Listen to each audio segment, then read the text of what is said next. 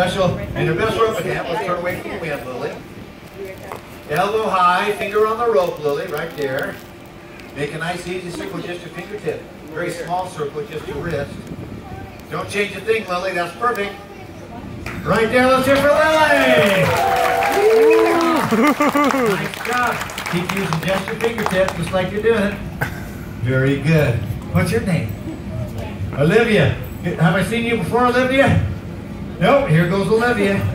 Put your hand down the end. Put your finger on your rope. Now make a nice relaxed circle with just your fingertip, Olivia. That's it. That's it for Olivia.